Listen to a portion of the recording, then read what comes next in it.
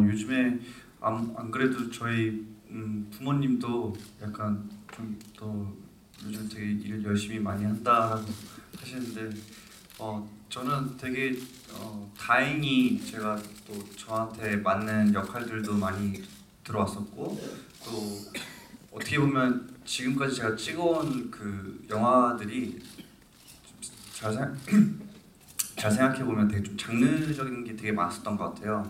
마녀도 있었고 뭐 부산행도 있었고 뭐 어, 물개도 있었고 뭔가 좀 제가 쉽게 하지 못했었던 그런 장르들이 되게 많았었는데 어, 그런 뭔가 시나리오나 글을 읽고 어, 오, 이런 거는 꼭 한번 해보고 싶었던 건데 하, 했던 것들을 제가 할 수 있었던 것 같아요. 할 수 있어서 제가 많이 하려고 노력을 했던 것 같아요.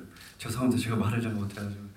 어, 근데 그 앞으로 지금 제가 여태까지 했던 역할들보다 좀 더 좋은 연기를 보여주고 또 더 좋은 어, 역할을 할 수 있게끔 어, 이제는 좀 더 제가 그 좀 쌓아야 될 게 있는 것 같아서 조금 어, 더좀 정리할 시간을 좀 가지려고 하고 있- 있습니다. 정리할 시간? 정리할 시간이 아니라 죄송, 죄송합니다. 어, 제가 너무 이제 이- 일만 하다 보니까 제 사, 사적인 시간도 없고 그래가지고 많이 좀더 예, 그러려고.